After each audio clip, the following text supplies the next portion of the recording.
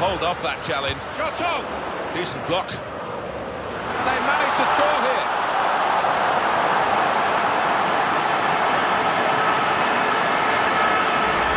A brilliant header, and no one knows it more than the scorer himself. He's absolutely thrilled.